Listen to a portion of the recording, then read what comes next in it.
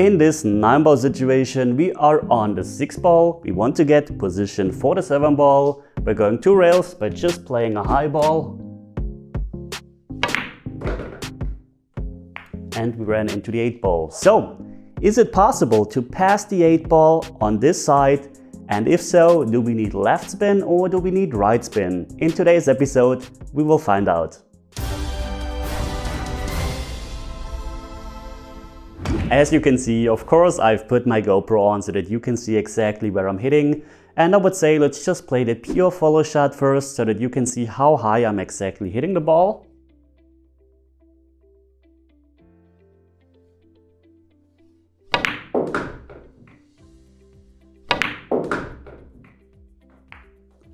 And again, we had the problem that we ran into that 8 ball and have no shot on the 7 ball. First of all, this is the same situation I was covering in a video from the December series. And uh, really a lot of you guys were suggesting in the comments I should play the shot with high and left spin in order to pass the 8 ball on this side. So let's just uh, play it with high and left and afterwards we're going to talk about what happens with the cue ball.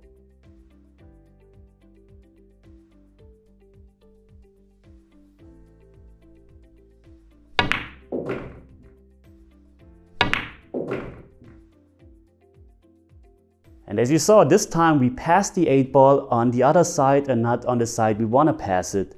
So why is that? First of all, it uh, has something to do with uh, spin-induced throw and the tangent line, but just a tiny bit. But the secret is uh, in those two rails. But first of all, we're going to play it with high right and then we're going to analyze uh, every shot on the computer with uh, post commentary and with those line so that you can see exactly what is happening. This is a lot easier to explain.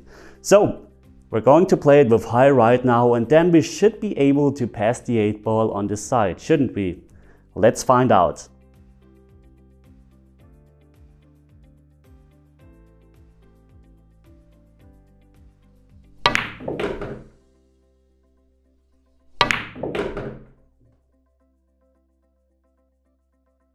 And again, we pass the 8 ball on the other side, so the same side as with high and left.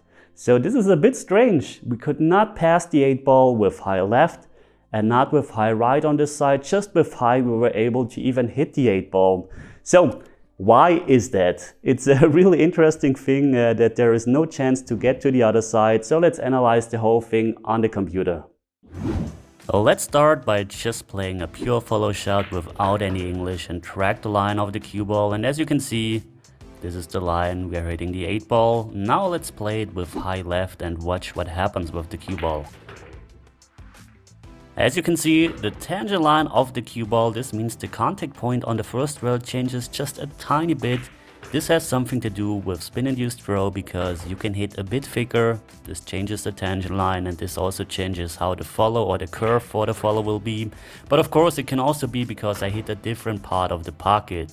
But the biggest difference here is the contact point on the second rail. You can see that the left spin opens the angle and we hit the long rail a bit earlier, a bit closer to the corner pocket and the spin, the left spin, doesn't have enough left spin to open the angle so far that we're passing the 8 ball on the right side. That's why the cue ball passes on the wrong side in our case. Now let's see what happens if we're playing high with inside spin. As you can see the contact point on the first rail is around the same, but the important thing is the contact point on the second rail now is above our standard follow line. And this would basically mean that the cue ball should travel a line where it passes the 8 ball on the right side.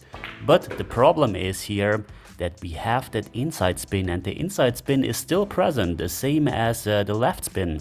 But it closes the angle so much and we're still passing the 8 ball on the wrong side again. So as you can see, there is no chance either with left spin or right spin to pass the 8 ball on the right side.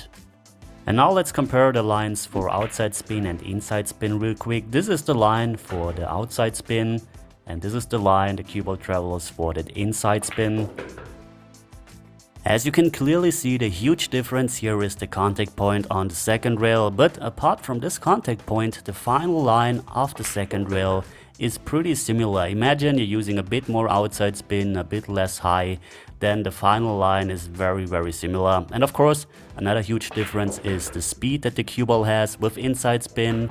Uh, the cue ball gets slowed down by the rails and if you're using outside spin of course the cue ball gets a lot of speed from the rails because of that outside spin the running English you're using. So as we saw, there is no real way to pass the 8 ball on this side. With the spin, we always get to this side. The only chance we have to pass the 8 ball on this side, however, is the best possible follow shot we can play. This means the most forward rotation. And of course, another problem is the harder we hit, the longer the cue ball will stay on the tangent line and that way we have no chance. So just to show you how this would look with a really hard follow shot, we will hit the 8 ball pretty full and compared to before we were hitting the 8 ball a bit thinner. So the secret is to play the best possible follow shot uh, you can do and the secret to this is following through the cue ball. So I will try to pass the 8 ball on this side now.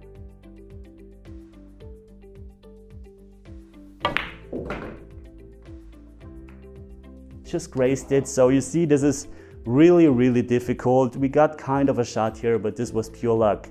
So I was suggesting in the other video, this is basically the same that I was telling you, plus uh, one more way to get to the seven ball. Um, you have uh, a lot of different options to actually get to the seven ball. The first option was drawing around the eight ball to get to the seven. This would look something like this with low and left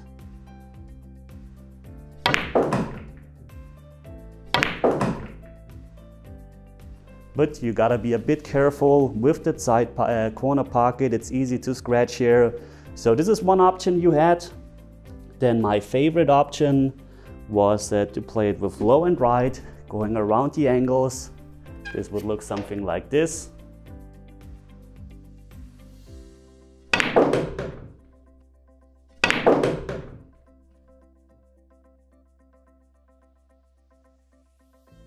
Bit unlucky that we got a bit too straight here, but this is the second option. And also another option that I wasn't showing in the previous video because uh, this video was just about that inside spin shot is to actually pass the 8 ball on this side, uh, going towards here, hit a bit harder and bringing the cue ball also to the same side of the 7. So this would look something like this.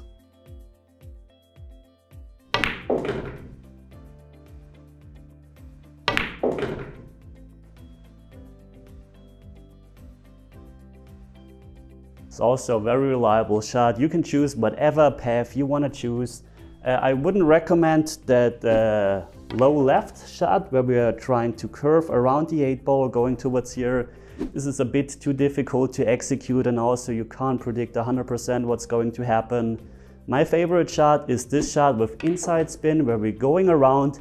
It's a bit more difficult to execute so I would think uh, as a beginner the high left shot where you're going around like this towards here is the, the easiest shot to execute and it's actually very reliable. So choose whatever shot fits you the best. It's very important to know every uh, shot there is and you should now know why uh, it's not possible to pass the 8 ball on this side.